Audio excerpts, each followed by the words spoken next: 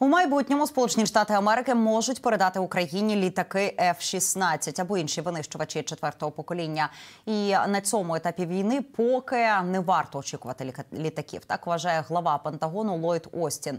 Як змінюється політика США щодо підтримки України і коли варто чекати чергової допомоги? Говоримо про це далі з Михайлом Прудником, політологом, міжнародним оглядачем п'ятого каналу. Михайло, вітаю тебе. Яка зараз позиція Вашингтона щодо постачання літаків? І чи варто нам все ще сподіватись на F-16? 16.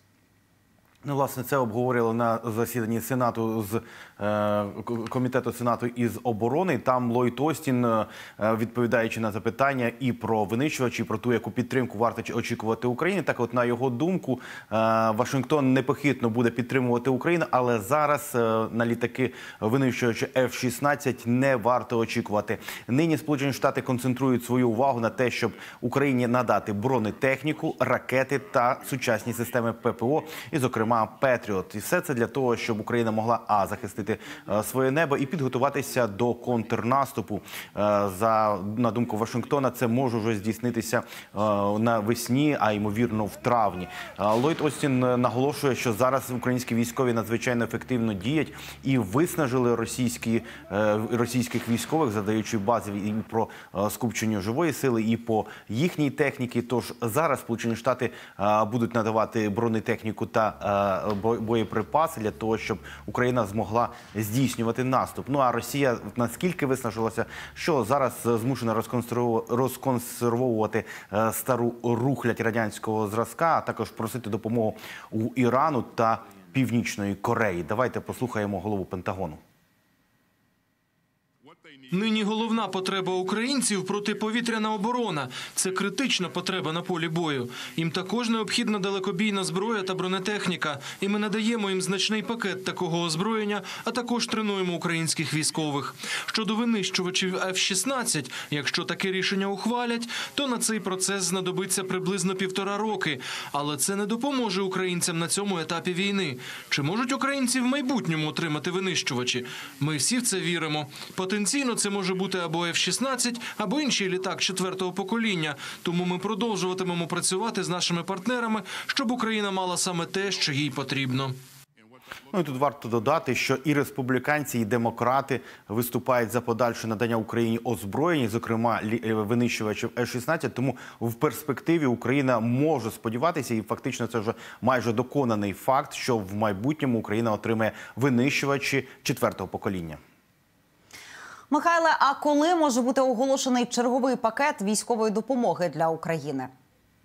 На наступному тижні саме зустрічаються міністри закордонних справ країн НАТО 4-5 е, квітня у Брюсселі відбудеться їхнє засідання. Ну ймовірно, е, що в цей час може відбутися і засідання засідання в форматі е, Рамштайн.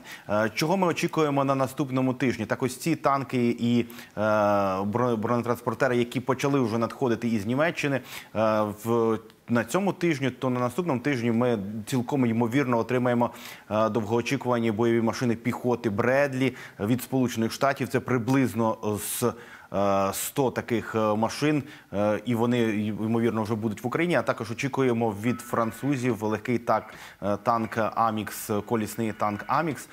Приблизно півсотні з них. Ну і також ми очікуємо на наступному тижні боєприпаси для того, щоб якнайшвидше підготуватися до контрнаступу. Ну і очікуємо на гарні звістки із наступного Рамштайна. Дякую тобі дуже, Михайле. Михайло Прудник був з нами. Політолог, керівник міжнародного відділу служби новин е, п'ятого каналу. Говорили про допомогу від Сполучених Штатів Америки для України.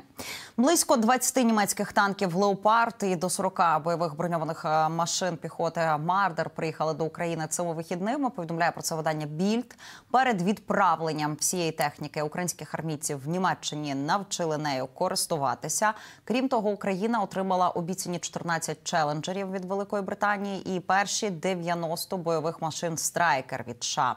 Найближчим часом до нас мають приїхати понад сотня американських БМП Бредлі, півсотні шведських БМП і французькі легкі танки Амікс. Підрахували журналісти. Оглядач е, Джулян Рьобке вважає, що це початок зворотнього відліку до дня, коли потужна українська армія почне відвоювати свої території в російських окупантів. Міністр оборони Олексій Резніков підтвердив, що БМП Мардер вже в Україні і навіть сам проїхався на цій машині.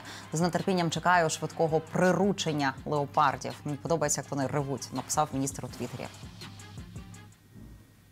Український льотчик загинув під час виконання бойового завдання. Це пілот Денис Кирилюк. Повідомляє про це прес-служба 831-ї бригади тактичної авіації.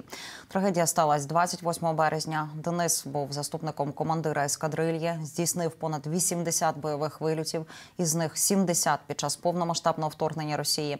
У серпні 2022 року був відзначений орденом за мужність третього ступеня.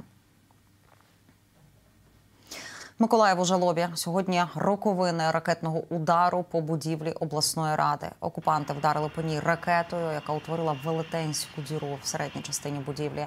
Сталося це близько 9 години ранку, коли частина колективу вже була на робочих місцях. Через той удар загинули 37 людей. Серед них працівники державної адміністрації, бійці територіальної оборони, військовослужбовці, працівники суду, комунальні співробітники. Сьогодні до місця трагедії містяни несуть квіти і згадують загиблих. Сумний день для всього Миколаєва. Сумний він в першу чергу для тих, хто втратив своїх рідних, близьких, тих, хто загинув в той трагічний день 29 березня 22 року.